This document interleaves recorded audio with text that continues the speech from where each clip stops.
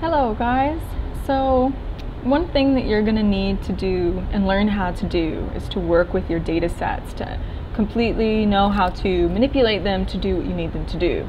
So the first thing that we're going to need to do is graph it. And so the way that we do that first is we're going to take our time column, which if I highlight this here it says time. You can also make it slightly bigger if you'd like so you can see all those things, absorbance and so on.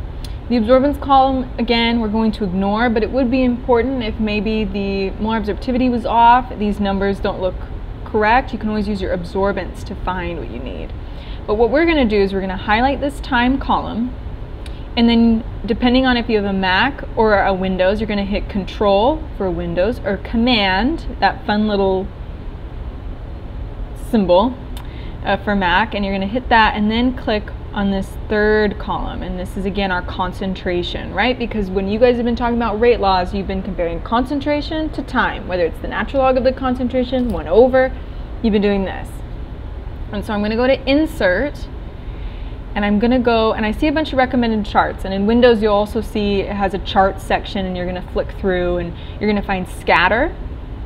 For those who have Windows because this isn't quite there but for people who have a Mac you're going to look for those dots and you're just going to click on the dots Voila, we've got a chart.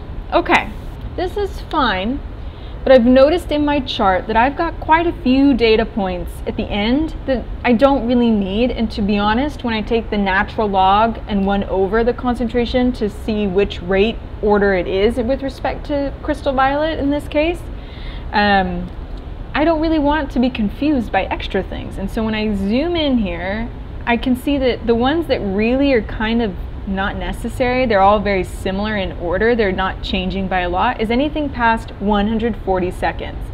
So if I, ooh, I zoomed out way too much, but if I go down here and click 100, I'm then gonna go down here, and I said, okay, so like 140, so 138, and then what I'm gonna do is, I'm gonna click back on my data, scroll down, and I'm gonna hike this up to 140 and then I'm going to take this one and hike this up to 1, 138, 140.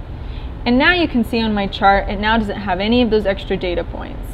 I'm going to click on this axis, I'm going to hit Format, I'm going to hit Format Pane, and I'm going to see the minimum is zero. I want that, that's fine. But I'm going to see my maximum is 160, and like we said, 140 seems about right to us. And now we've got a pretty good looking chart. The next thing I'm going to do is chart design. There's a few things you can add chart elements, trend line being one that you'll want to do, but more importantly, you can also do a quick layout.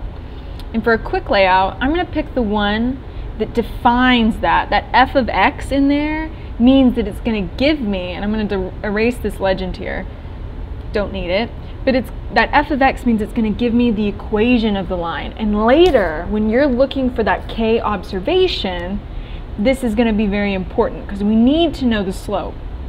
Now, a couple of eagle eyes are going to say to me, is that linear?